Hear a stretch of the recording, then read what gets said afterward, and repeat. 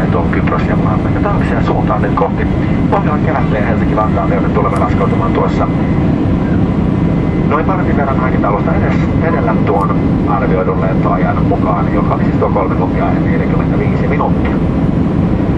Ja tässä lennon aluksi esimerkiksi mennään täällä koneessa työskentelevän miehistön. Tuolla ohjelman puolella konetta pohjastavat kapteeni Odd yhdessä Mäenpään Antin kanssa.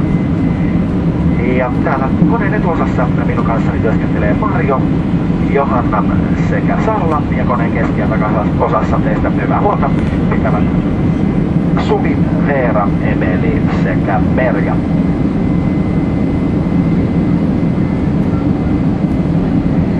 Mikäli olitte tilanneet taxfree-ostoksia tälle paluulennolle, oli nuo jaettuna tuohon tuolille ennen kuin tulitte koneeseen ja on hyvä tarkastaa noiden tuotepussien sisältö avaamatta niitä. Ja jos näissä on jotain huomautettavaa tai nuo tuotteet eivät vastaa tuota tilausta, niin ilmoittakaa meille tästä. Tässä lennon alusta tulemme ottamaan noista tuotteista maksut tuon ensimmäisen juomatarjoulun yhteydessä. Ja maksuvälineenä täällä koneessa käy käteisen lisäksi yleisimmät luottokortit, mutta ei suomalainen pankkikortti eikä myöskään Visa Electron.